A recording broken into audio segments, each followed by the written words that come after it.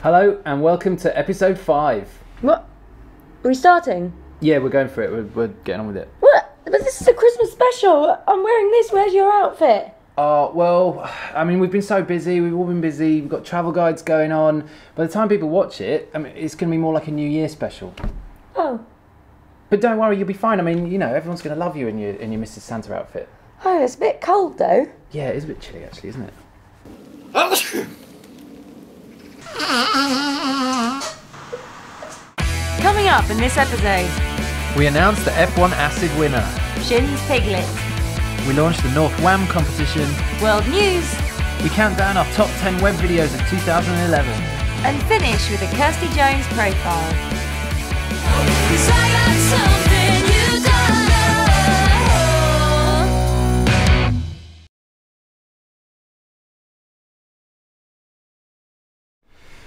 Well, it's the Christmas holiday, so I thought, Jim, why don't we start with a Christmas present? Let's do that. All right. So, last episode we had the F1 Acid up for grabs. First of all, let's see it in action in F1's awesome Antandroy film, which appears later on in our top 10 video countdown. Far away, a germ in my mind.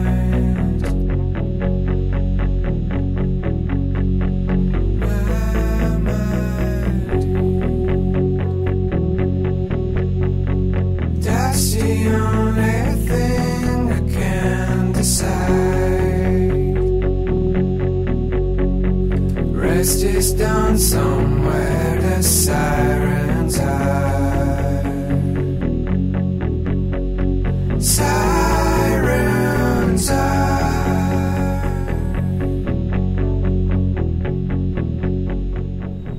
So, to be in with a chance of winning this, all you had to do was be a fan on our Facebook fan page. So, we dipped our fingers into the digital Facebook hat, and the winner is Greg Masson. Woo!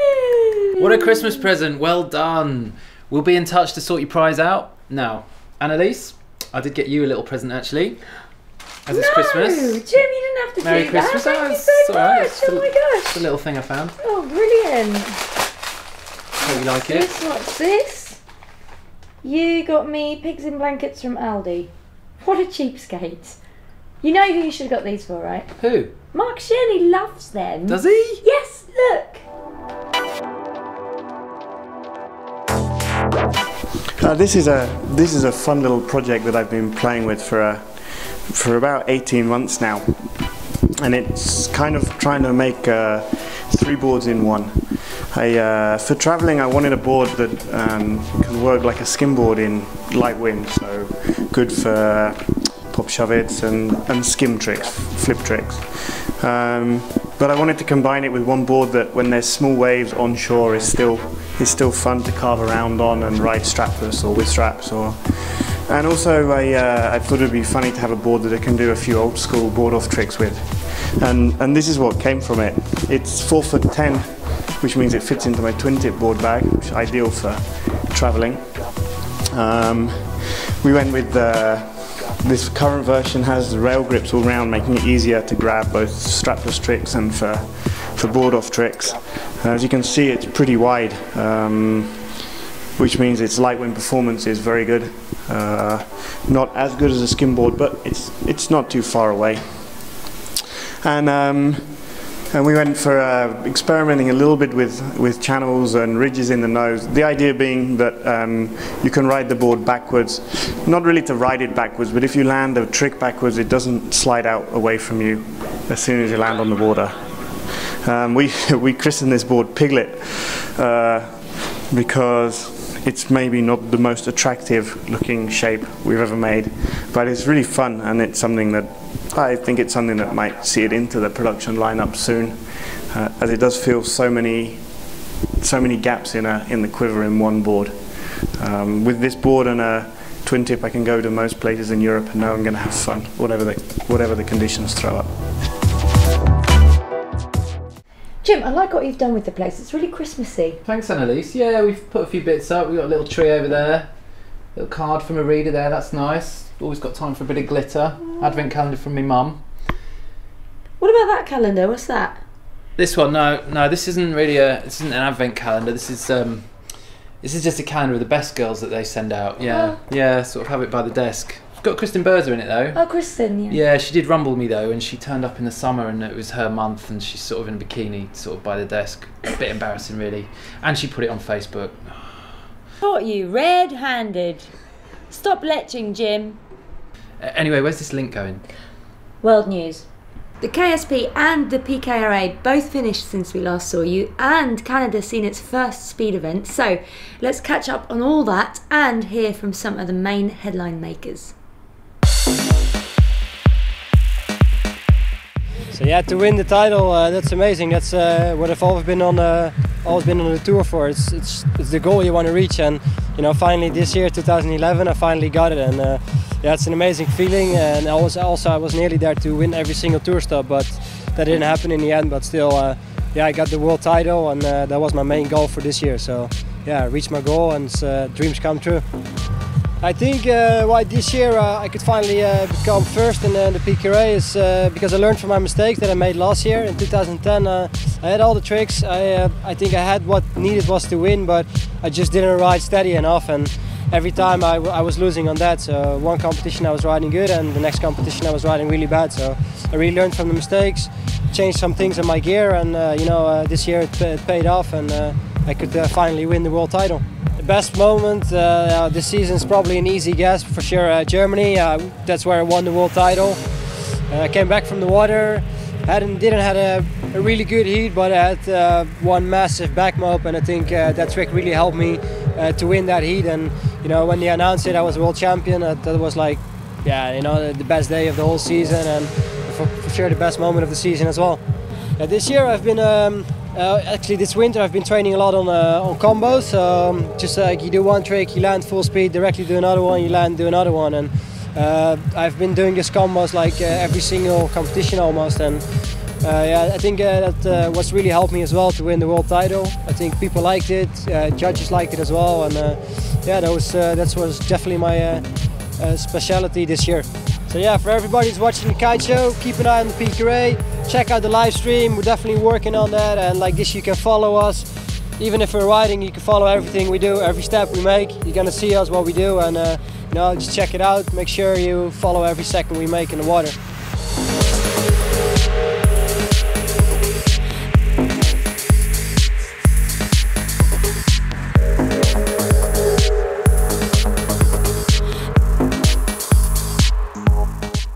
Was really good to do the PKRA stops at the start of the year. It was my first real year sort of doing any world level competitions in the wave and I really enjoyed it. It was good fun. Got to meet some new people and ride with some new people and I was really stoked to take out the first two events. It kind of sucked that basically that was it and there were no more events but for me it was good because it really allowed me to spend more of the year traveling doing some of my own stuff and yeah I'm pretty happy with the way it worked out.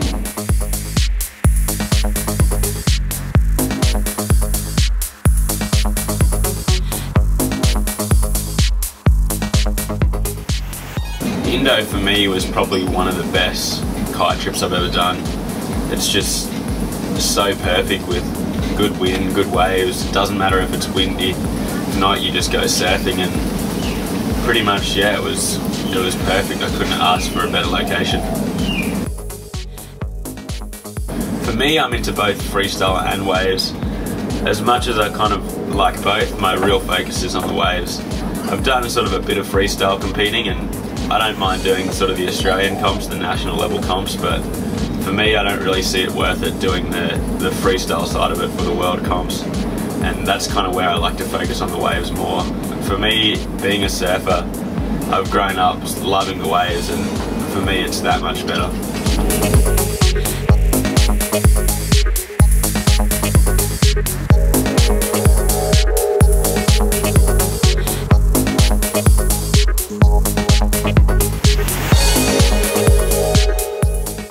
I think it was really successful. All the riders were having a great time. We had two amazing events in Mauritius and Peru, of course, and then here a lot of fun in Cabo Verde also. I think it was really special for the riders to have a tour that is really purely focused on wave riding and that shows kiteboarding or kite surfing to its, full potential. And with our first world champions ever, with Airton and Ines, I think not only us as the riders, but also the, the people and the kiteboarders out there and the media are really stoked. So, good start. Well, I think um, first of all, it, it was a, it made a huge impact on the sport just because uh, the conditions we had in Mauritius for that first event were the best conditions we've ever seen in a kite surfing event. We had perfect, huge surf the entire time, and uh, that just allowed riders to really open up and, uh, and perform at levels that we haven't seen in competition before. Um, I think you know now that this strapless riding has really come of age, um, that's kind of that event sort of set the standard for uh, strapless riding in competition and showed the world that uh, you know we can ride strapless even when it's huge. We don't need to put the foot straps on. If we have a big perfect wave, we can rip it just as hard as any surfer can. So uh, I think it was definitely a, a mark on the sport and uh, really sort of raised the bar for competitive kite surfing. For the 2012 season, we have a few great events in the lineup. We will release the tour schedule in February, so until then, uh, we will have to keep you waiting a little bit. But the riders are already really excited, and we are too, and I think it's only going to get better. So hopefully for next year, we're going to have two lefts and two rights on the tour and keep it fair for everyone. I still think for the first season, that certainly was the best we could deliver. Uh, we have a storm warning in effect for our coastal waters of Martha's Vineyard for Saturday, October 29th. Forecasted winds are in excess of 40 knots with gusts of 50 knots, which is going to allow the riders to uh, push 50 knot averages over the 250 meters and probably see 53, 54 knot VMAX. Uh, just a great way uh, to end the event and a great way to announce to the world that Martha's Vineyard has some of the world's best speed sailing sites available. You gonna take tomorrow off because you have it in the bag? Nope, I would. you're not me. The North American Speed Sailing Invitational took place in October at Martha's Vineyard, USA. The first speed sailing event on American soil, it was hosted by the fastest sailor in the world, kiter Rob Douglas. 12 of the world's fastest kiters were invited for the 14 day race period, but it was the event organiser himself that took the win and the largest chunk of the $27,000 prize purse. Rob manned up in the ballistic conditions, dominating the contest, winning 23 of the 24 events, proving he is still the man to beat. Similar to the Ryder Cup in golf, there was also a team event at the Nassie, the Lynch Cup, which was won by the French. Look out for this playing a bigger part at next year's event, with teams competing for $25,000 at the 2012 Nassie. C'est super. Il fait super beau. Il fait chaud. Il fait chaud. Il y a du monde. L'eau est bonne. Voilà, c'est cool. Si on allait un peu plus vite, ça serait top.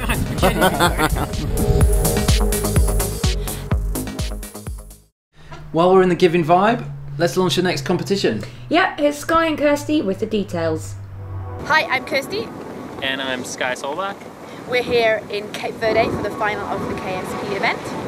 And this here in my hands is a 6.0 North Wham surfboard. This is a great all-rounder. You can ride it with three fins or with four.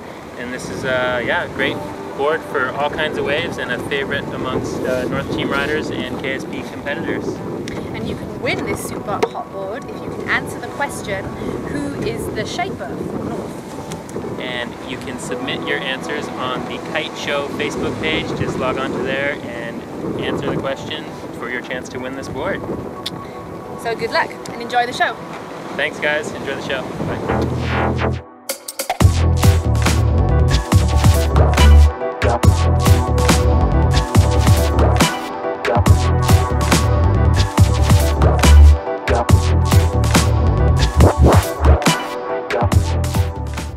We thought for our end of year special we'd run you through our top 10 list of web videos while you've got a bit of time off to enjoy them. There's a bit of everything from feature length web busters to mini masterpieces, so let's get into it.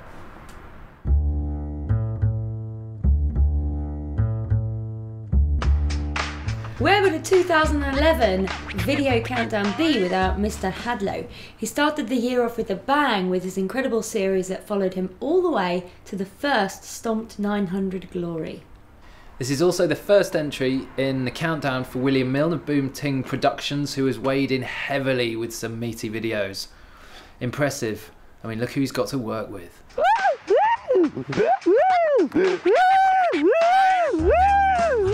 So it looks like Essa's getting a bit frustrated out there. The waves kind of died out, so it's always hard.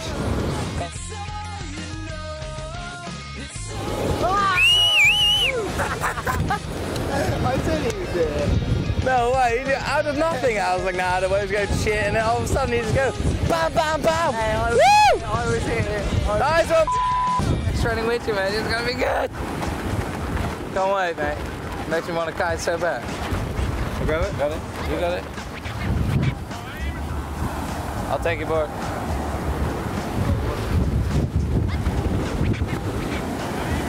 Fine then, take it yourself.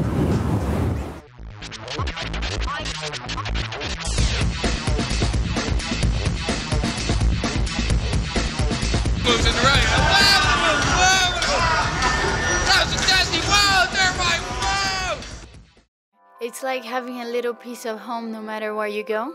It's that one place where you feel comfortable when you're yourself.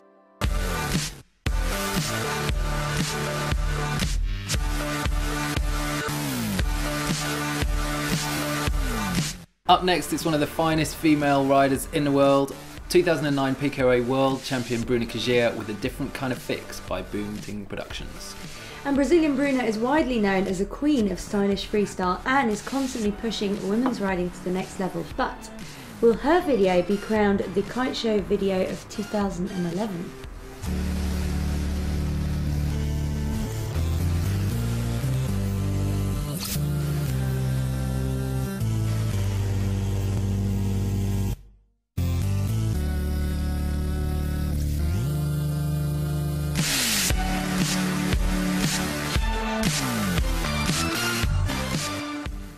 British Dream Team have been filming hard over the last 12 months.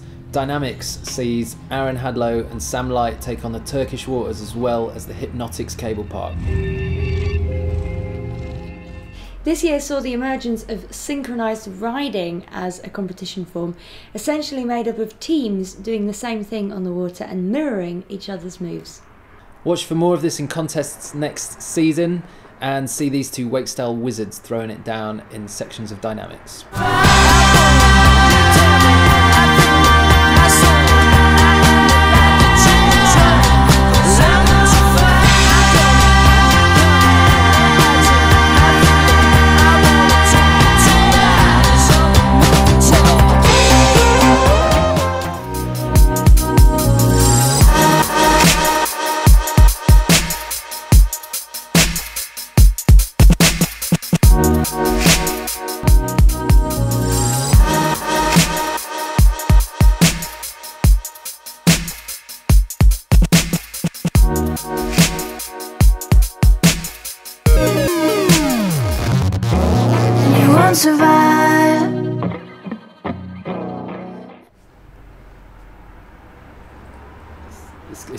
4 in 1.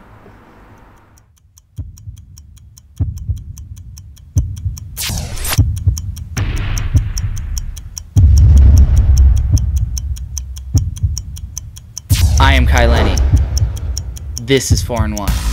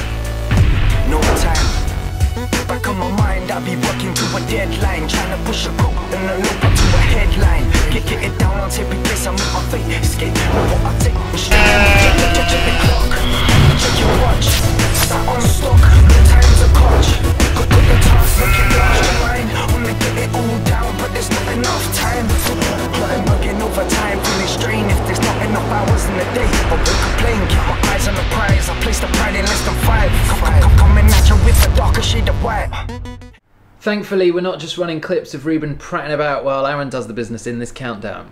Oh no, our old mate Loopy Lenten finally got back onto the water after eight months off due to an ankle injury. It's good to have him back. Here's how he decided to make his comeback.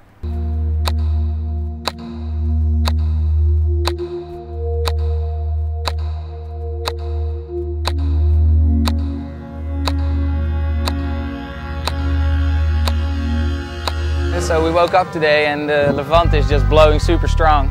So I'm gonna jump from the Mediterranean Sea into the Atlantic Ocean uh, with a big mega loop or something. So check it out, Lenten is back bitches. Woo!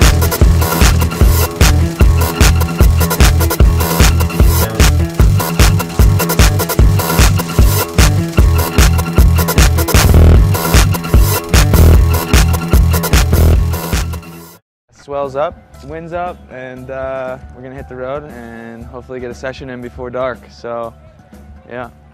Where are we going? I don't know. Only an hour outside of Perth, the traffic lights and cityscapes soon give way to sandy roads and remote beaches. It was time to wash off the dust and get on the water. Life on the road. The Filthy West is a proper road trip video along Australia's west coast. Narrated by photographer Jason Walcott, who we profiled last episode, of course, it's an hour and 15 minutes of laid back, sloppy surf sessions and more full on pit riding in some of Australia's most out of the way places.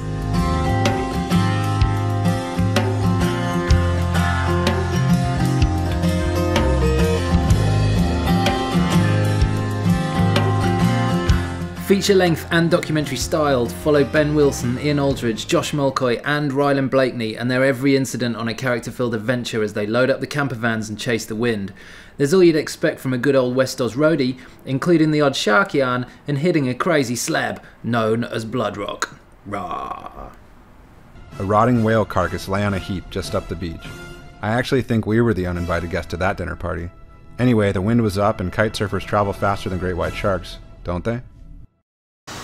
It was all about being in the right place at the right time for Fiji in 2011, and Ben Wilson was, twice. Ben is incredibly methodical and scientific in his approach to trips and scoring the best swells possible. He runs his life around it. Getting the biggest and heaviest strapless wave we've ever seen and being there for the swell of the year was no fluke, it was all carefully planned. Giant Clouds takes you behind the scenes and deep into the thick of the action, telling the story behind that swell with Ben and his BWS team riders.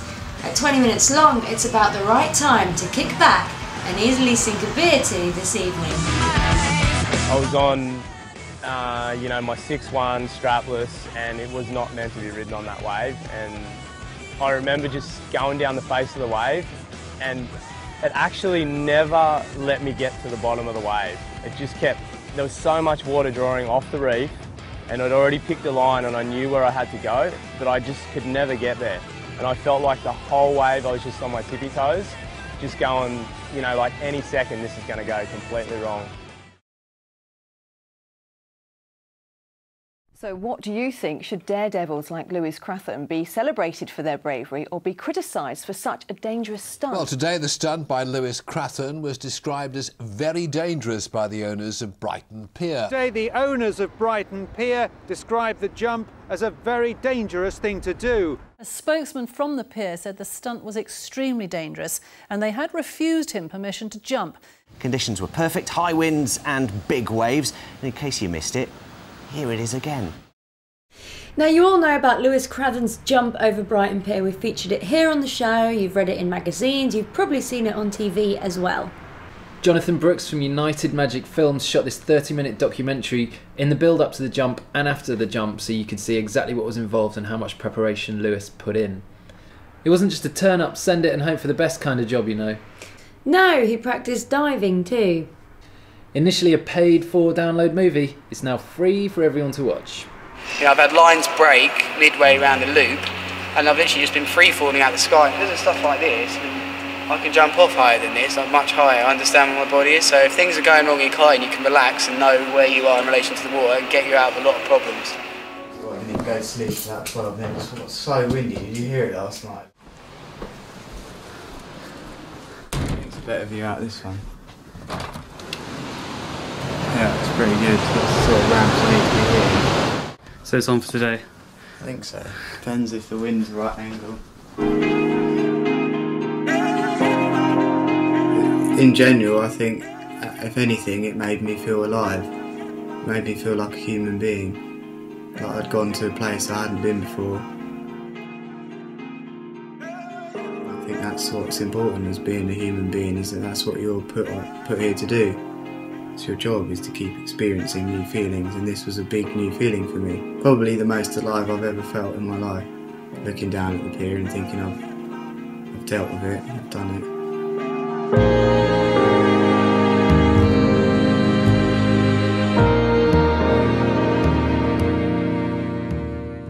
F1 are a dead cert in any best of video countdown with their annual blockbusters. 2011's mega release was Antandroy.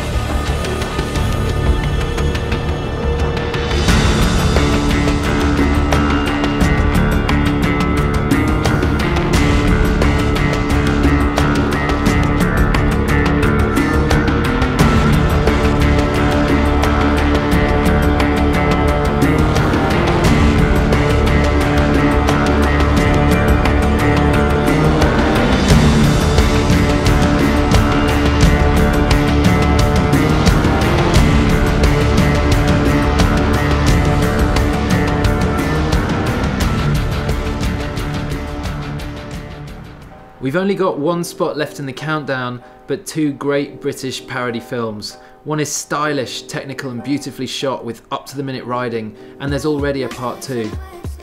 The other is at the opposite end of the spectrum and shot in complete contrast in 4 3 format. There's no music and there's much more going on behind the scenes than just the outfit. But both are comedy gold in our eyes. You decide which is which, but we love both, so we've made it a countdown of 11. And then uh, then I ride until uh, till it gets dark. Then uh, maybe uh, some smoked fish for dinner or something. So a lot of people ask me how I can how I can live this amazing lifestyle that a lot of people are jealous of. The way I see it, money is a is an energy, and I've got a lot of positive energy at the moment. So it flows through me, so I'm able.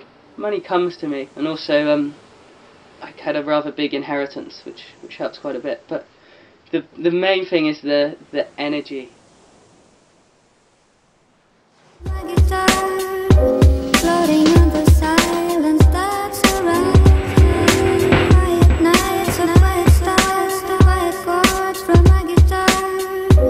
Floating on the Uh, when I first saw kite surfing, you know, I was truly inspired. Seeing people fly through the sky, sail across the sea, you know, had to be part of it. Yo, where did the sun go?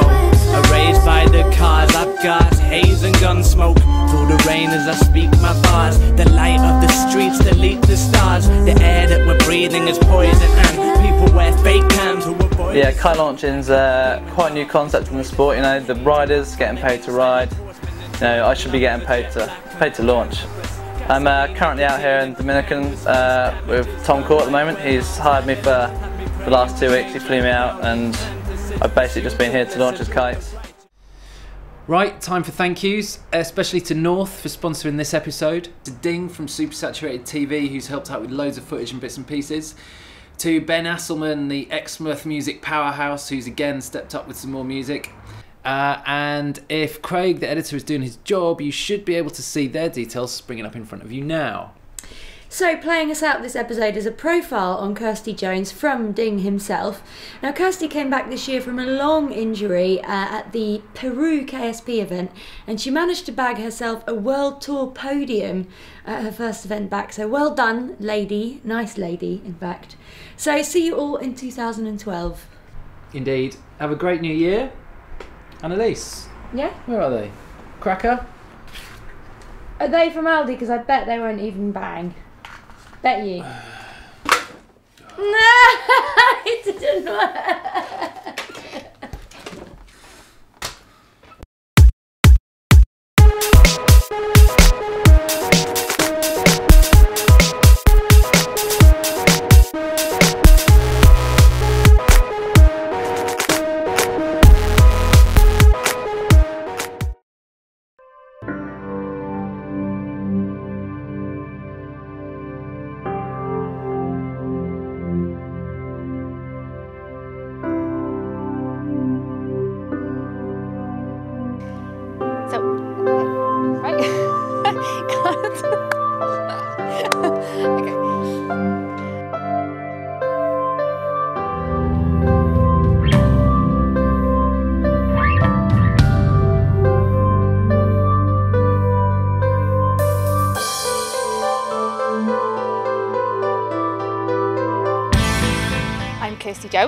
I'm a Welsh kite surfer. I've been kite surfing for about nine years now. I was, well I still am, a surfer, windsurfer and ocean lover. I think anyone who's ever tried kite surfing can uh, understand the amazing intense feelings you get from it. So I love it because it's so diverse. You can you can go whatever way you want. You can ride waves, you can do freestyle, you can do massive jumps, or you can just kite surf out to the horizon and enjoy the space and freedom all around you.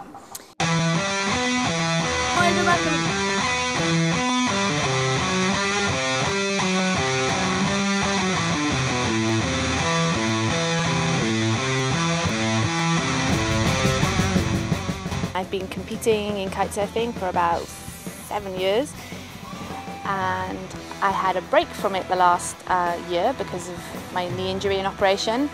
And and then I actually started to get the, the hunger back for competing so I decided to, to, to start again. And actually it's, it's been really sort of refreshing to have this break from injury because I've realised a lot of things and had time to reflect. And now coming back into competition I'm I'm not putting so much pressure on myself and just trying to enjoy competing, trying to enjoy pushing my level and hopefully other people's levels.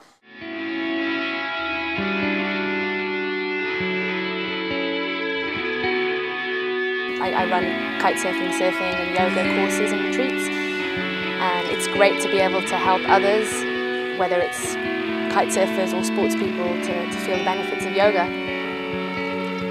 I think actually, yeah, yoga could be a, a, revolution, not only in, in, in kite surfing, but also in sport because of the way it connects the, the, the body, mind, um, and sort of breathing and the soul and everything. And uh, I'm not explaining this very well, sorry. Okay, what's the question again?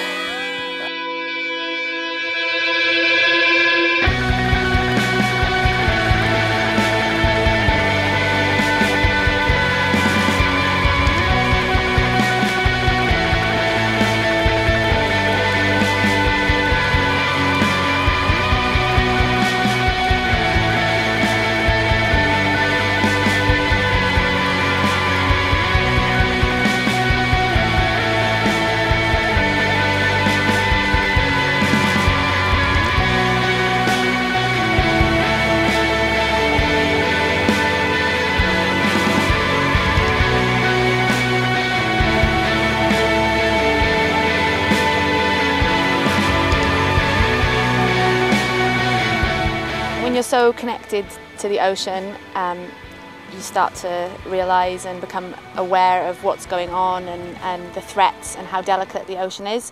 So I try and do my bit wherever I can, where if whatever country I'm in, I try and get involved with various marine conservation charities and just try and open people's eyes to what's going on in our oceans.